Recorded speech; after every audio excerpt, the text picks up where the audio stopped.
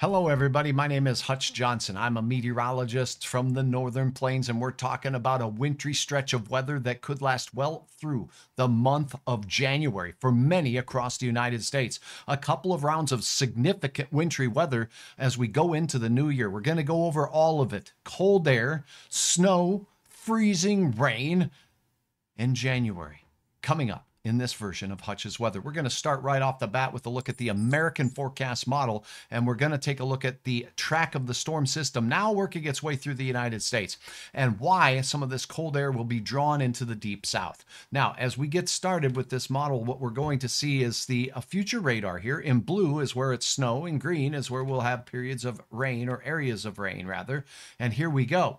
Now, as we see this system, the storm system working its way through the uh, central plains states here. It's going to roll out of places like Iowa tonight. And as we go into our New Year's Eve day. We'll have it working its way through places like Illinois, Indiana, and the Ohio River Valley. There'll be rain on the south side of the system, but quickly it will cool off when the winds become northerly in Indiana, Ohio, as we go into your New Year's Eve celebrations. This will set up wet weather for New Year's Eve along the East Coast with showers, some of them heavy, maybe even a rumble of thunder, and then bands of heavy snow. With the cold air having that northern component, we're going to pick up that uh, lake effect snow in the typical places. Uh, we're talking Erie, Pennsylvania, upstate New York, and all the way up into the New England states. We'll have that batch of snow lasting right into the New Year's Day part of the new year. We'll look at snowfall amounts with these systems here in a moment.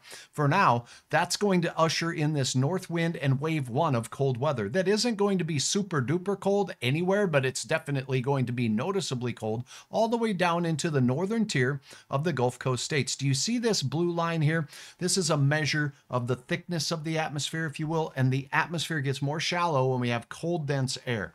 So this blue line that you see here is the leading edge of that cold air freezing temperatures, and the freezing temperatures will be digging south thanks to this brisk north wind.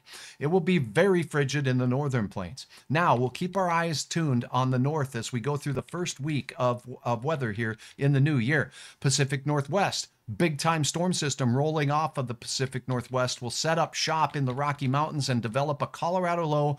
And that's going to bring a batch of snow through the northern Rockies and into the uh, high country of the Black Hills. Here we go. Colorado low begins developing. These puppies are one of the most potent storm systems for all areas because they draw with the south wind on air from the Gulf of Mexico. This warm, humid air rises up into the southern plains, the central plains, and sets the shop up. The Gulf of Mexico open for business. It's the moisture source for things like very heavy rain. It's the moisture source for very heavy bands of snow.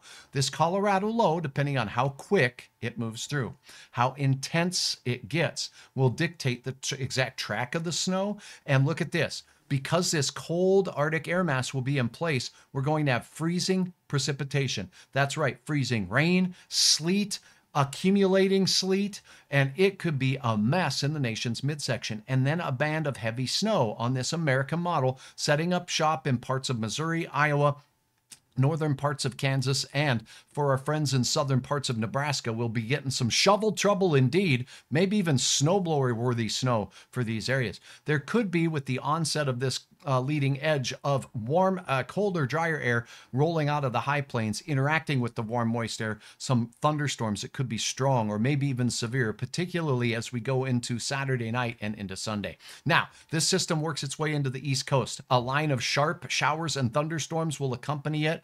The main event here is an Arctic air mass coming right out of British Columbia and Saskatchewan. This is even colder than the first round, and this one dives right down into the Rio Grande Valley of Texas Texas, and the Gulf of Mexico. Freezing temperatures will be possible, but this storm system heading from the 5th through the 7th will work its way through uh, Illinois, uh, Indiana, and the Great Lakes states of Minnesota, Wisconsin, and all the way through Michigan and into the northeastern United States. The track and intensity can and will shift.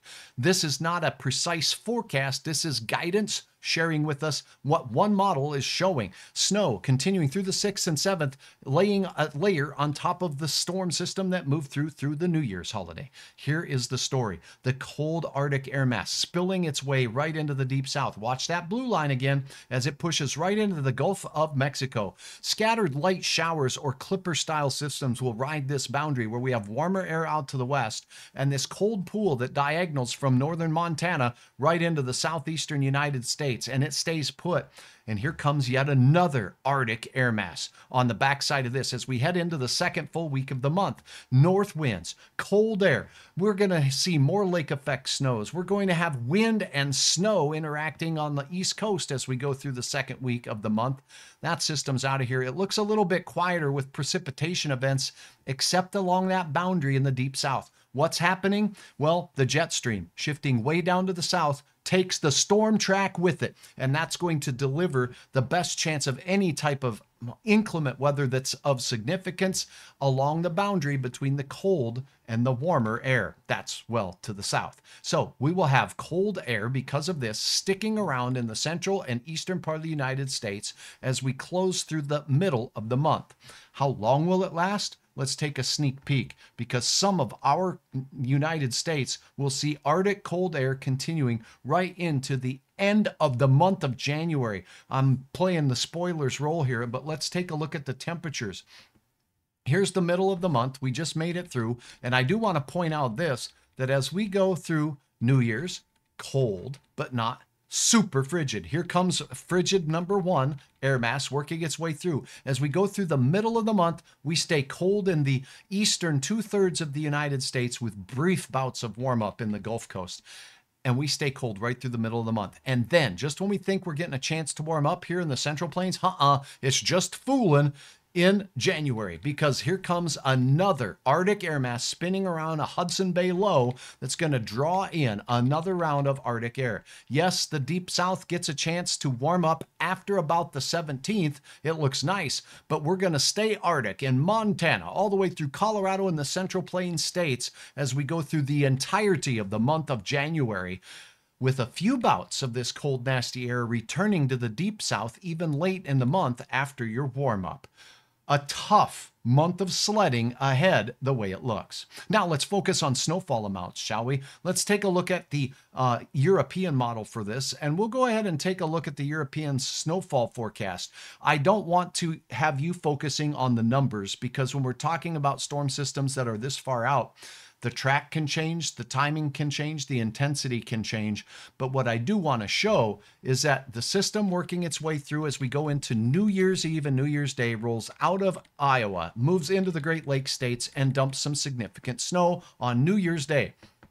This is midnight on the second. So this is basically, uh, as we go into the second day of the new year, we're going to have snowfall amounts in the pinks here are over six inches. So in typical places that see the lake effect snow, Western PA, Western New York, upstate New York, and the New England states up in Maine, New Hampshire, Vermont, the elevated terrain there is going to wring out some moisture in the form of snow. We will have measurable snow working its way out of the mountains of Montana, Idaho, straight into the mountains of Wyoming and Colorado, as well as the uh, the uh, mountains in the Pacific Northwest as well. That's round one. Now we get a little bit of a break, but here comes that Colorado low that will be developing. Boom, here. So as it moves out of the Pacific Northwest, a round of snow for much of Montana, possibly the Western Dakotas as well. Now it sets up shop here in Colorado. When that happens, we're going to see that south wind bring its way in, and here comes the snow. We're just looking at the snow factor here. And again, very heavy band of snow tracking along with this low pressure system.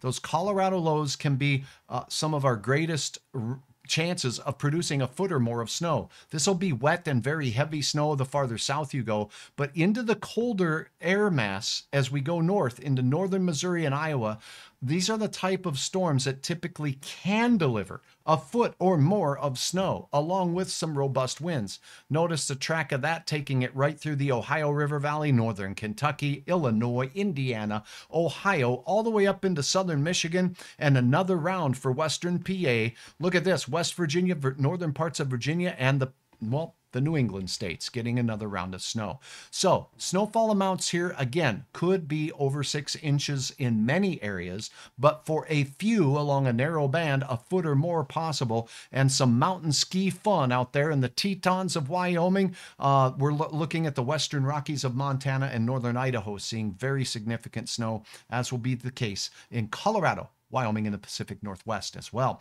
That is a look at the snowfall potential with the system. Here is a look at the moisture potential with the system when we look at rainfall. And again, our southern states will have that chance for some icing. We're going to go over that here momentarily as well. So here is a look at total amounts of precipitation from the European model as that Colorado low swings through. There's the first system. This is liquid equivalent moisture of the snow working its way through. And here's the Colorado low spinning through right here. Some areas will get over an inch to two inches of rainfall where we see the deep purples. That's over two inches of rain. Look at the mid Atlantic states are picking up significant amounts of precipitation, as will be the stormy Pacific Northwest. Here's ice. Oh my goodness. The icing potential with the event as we go from the 5th to the 7th is real. And this could be a problem when it comes to things like power outages and travel across the nation's midsection. The exact track of the icing is going to be something that we will watch very closely. But here we go. As we go from the 5th into uh, fourth into the fifth. Icing from Kansas and Missouri is where this draws straight into Kentucky. Look at this in the uh, Appalachians uh, here in Virginia's as well as uh, North Carolina. We'll have a chance for some icing. This would be significant amounts of ice, and the exact track of this and intensity of this is certainly. Uh, something that could change, but this could be well over a half of an inch or even an inch of freezing rain and sleet through parts of Missouri. This would be tracking through areas south of Kansas City, maybe through places along and south of the I 70 corridor through Columbia and through St. Louis and points south at this point. We'll keep you posted. I'm meteorologist Hutch Johnson. I love to give you a little bit of a view of the behind the scenes weather forecasting techniques we use to pick out models. But at this stage, a couple of different models are showing a significant winter weather event that will be making its way through the northeastern United States on New Year's Eve and New Year's Day. That will include you in the Ohio River Valley. And then a second system that begins on the 4th as strong to severe thunderstorms. And then it begins mixing with the cold air in the northern states that could bring freezing rain and areas and bands of heavy snow. The 5th, the 6th, and on into the 7th as it moves its way into the mid Atlantic states. If you liked what you saw here, I'd sure appreciate you following me on any of my platforms. Here on YouTube, you can smash the subscribe button. I sure appreciate it to see more of my content. You can follow me on Facebook as well, or you can visit my website anytime, anywhere, Hutch's Weather. For now, thanks for watching. Have a stiff upper lip. It looks just dang cold out there as we'll have snotsicles in the northern plains for the entire month of January. I'm ready. Are you?